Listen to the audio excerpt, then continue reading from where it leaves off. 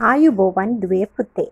සුපුරුදු විදියට ඔන්න මම අද පුතාලට සිංහල ව්‍යාකරණ තවත් පාඩමක් කියලා දෙන්න මේ සූදානම් වෙන්නේ.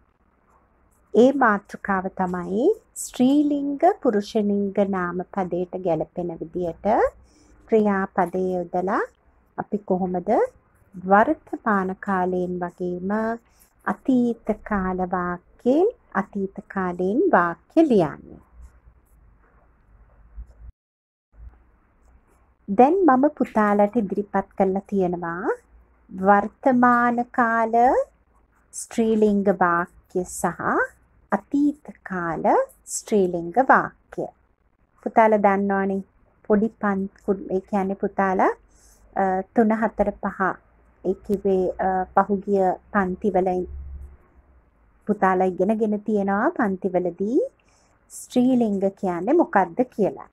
පුතාලා දන්නවා ගැහැණු කෙනෙක් එහෙම නැත්නම් ගැහැණු සතෙක් හඟවන පද. දැන් මේ ඉදිරිපත් කරලා තියෙන වාක්‍යවල පුතාලා බලන්න අම්මා, අක්කා, කිරිල්ලිය, ගායිකාව, ශිෂ්‍යාව. දැන් මේ වාක්‍ය අපි ස්ත්‍රීලිංග වාක්‍ය විදියට පිළි අරගෙන අපි දැන් ඒවා කොහොමද අපි වර්තමාන කාලයෙන් සහ අතීත කාලයෙන් ලියන්නේ කියලා ඔන්න දැන් අපි බලනවා. බලන්න. ඔන්න දැන් මම මේ වර්තමාන කාලයේ අතීත කාලයේ දෙකම පුතාලට සංසන්දනය කරනවා එක වෙලාවේ.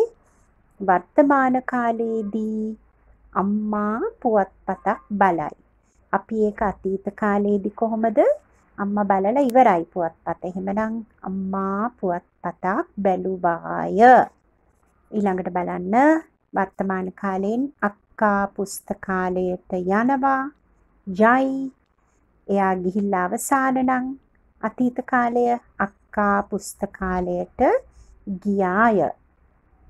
තුන්වන උදාහරණය කිරිල්ලිය ඉහළ අහසේ පියාසර කරයි වර්තමානයේ.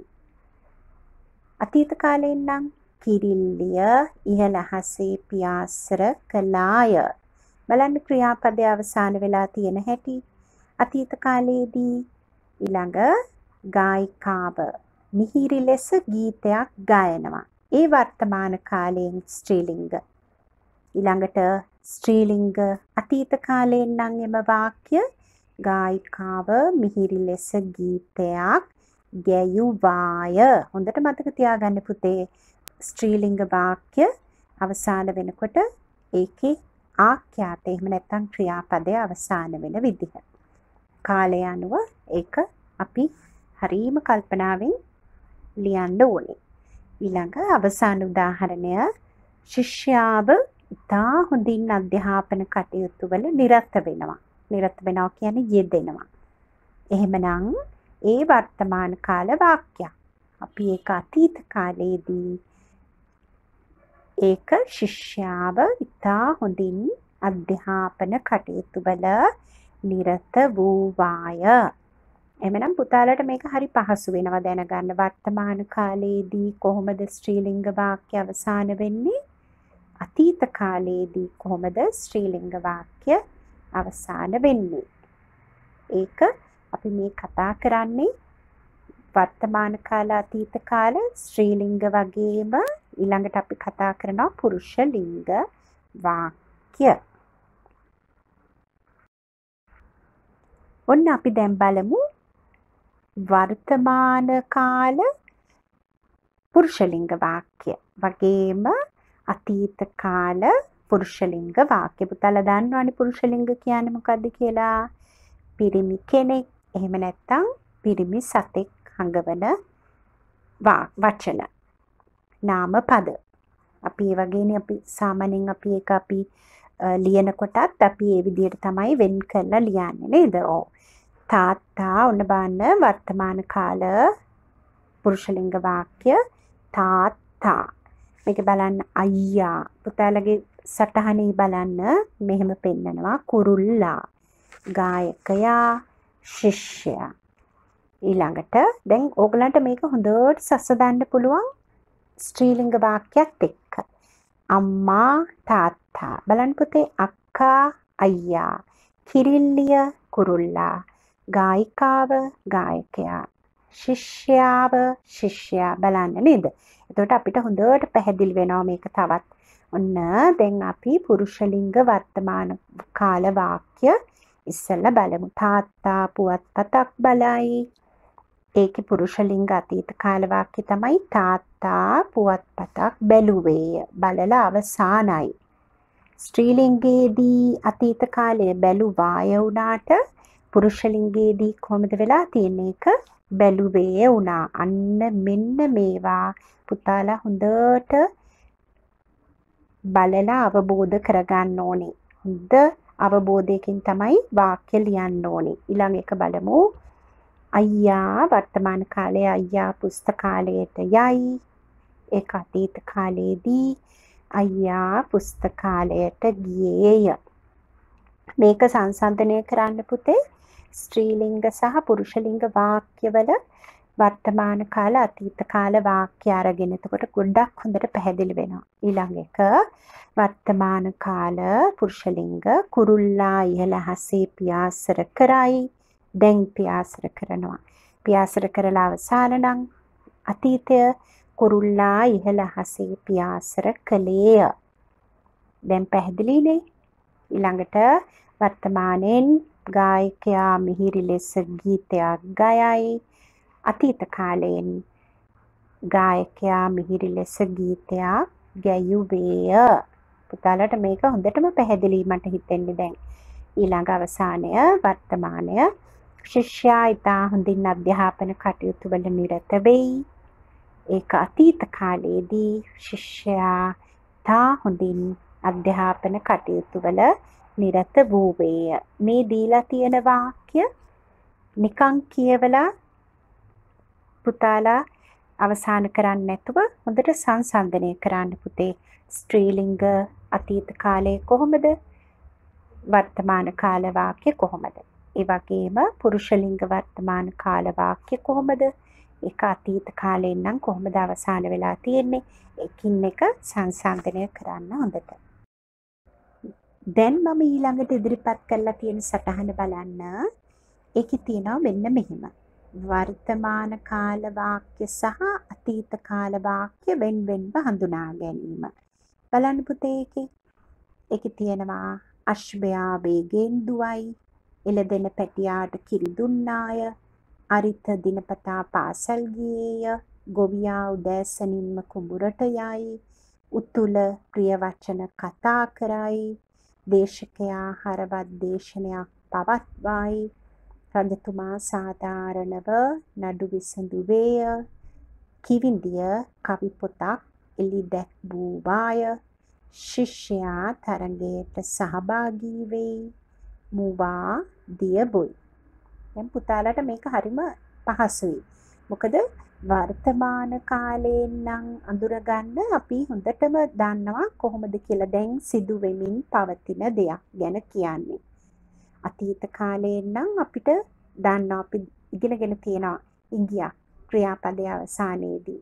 ඒකෙන් ගොඩක් හොඳට පැහැදිලි වෙනවා. මම පුතාලට මේකේ කීපයක් කතා කරන්නම්. ඒකෙවි ස්ත්‍රීලිංග පුරුෂලිංග දෙකෙන්ම දීලා තියෙනවා වාක්‍ය.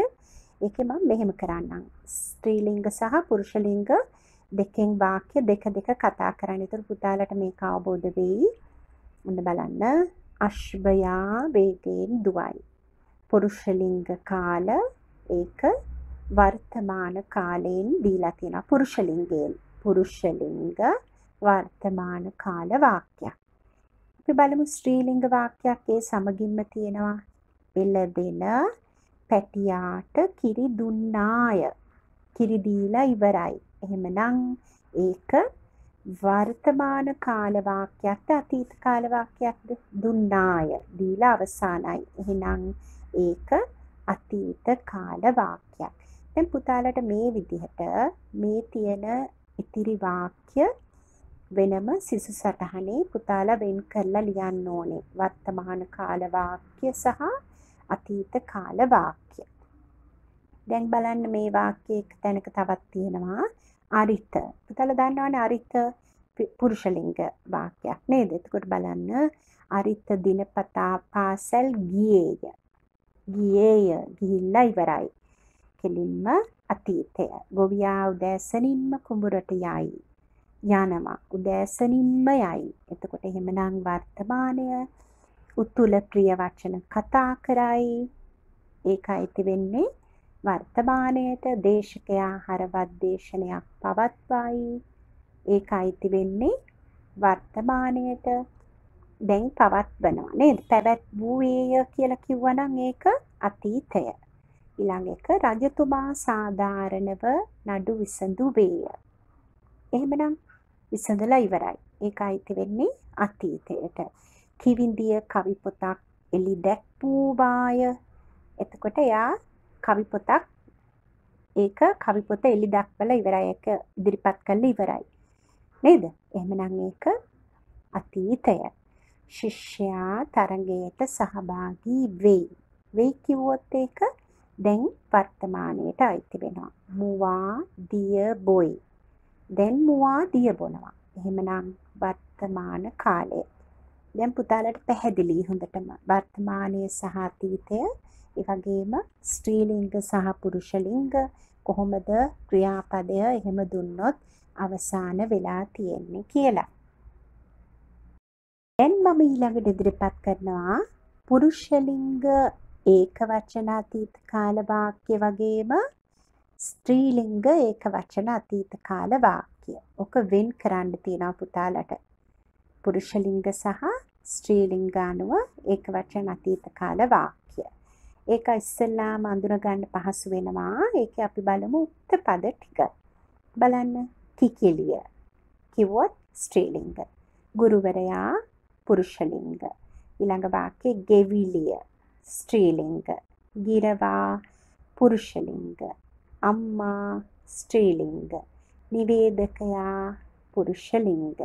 වෛද්‍යවරිය ස්ත්‍රීලිංග. ලේඛකයා පුරුෂලිංග ඊළඟට මොනරා පුරුෂලිංග සහෝදරිය ස්ත්‍රීලිංග. එහෙමනම් ඔන්න දැන් උක්ත පද ටික පුතාලා හොඳට වෙන් කරලා අඳුන ගන්න පුළුවන්. ඒ අනුව අපිට පහසු වෙනවා. පුතාලා දන්නවනේ කිකිලිය කෑම සොයා ගියාය. අතීත කාලයෙන් අවසానයි. මේ ඔක්කොම දීලා තියෙන්නේ අතීත කාල වාක්‍ය බලන්න. ගුරුවරයා පාඩම් කියා දුන්නේය. ගෙවිලි ඈඹුල සකස් කළාය. ගිරවා ඉදුණු පේරගෙඩියක් කෑවේය. අම්මා රසවත් කෑමක් පිළිගැන්වූවාය. නිවේදකයා විස්තර කතනයක් ඉදිරිපත් කළේ මේ ඔක්කොම ක්‍රියාව ක්‍රියාපද අවසාන වෙලා තියෙන්නේ අතීතයෙන්. පුතාල මේ කිසිසු සටහනේදී කළ යුතු වෙන්නේ පුරුෂලිංග ඒක වචන අතීත කාල වාක්‍ය සහ ස්ත්‍රීලිංග ඒක වචන අතීත කාල වාක්‍ය අඳුනගෙන ඒක වෙන් කර ලිවීම පමණයි. දැන් පුතාලට හොඳට අවබෝධයක් ලැබුණා ස්ත්‍රීලිංග සහ පුරුෂලිංග ක්‍රියාපද වර්තමාන කාලයෙන් සහ අතීත කාල වාක්‍යයෙන් ලියන විදිහ. එහෙමනම් දුවේ පුතේ අද ඔබට මම ඉගැන්වුව මේ පාඩම හොඳින් ඔගොල්ලෝ හොඳට අවබෝධ කරගන්නගෙන ඇති කියලා මම හිතනවා. මට විශ්වාසයි. ඉතින් එහෙමනම් පුතාලා මේ පාඩමට අදාළ සිසු සටහන නිවැරදිව සම්පූර්ණ කරගෙන ඉතාම පැහැදිලිව ඊට අවශ්‍ය පිළිතුරු ලියා ගන්න. පුතාලට මේ විශේෂ කරුණු හැටියට පාඩම කියවලා අවබෝධ කරගත්ත වෙලාවේ යම් දෙයක් තියෙනවා නම් පුතාලා ඒ සටහන් පොතේ එක වෙනම ලකුණු කරගන්න. එහෙමනම් ඔබ නැවත මම අලුත් පාඩමකින් ඉක්මනට හමු වෙනවා. ඔබ හැම දිනාටම තෙරුවන් සරණයි පරිස්සමින් ඉන්න.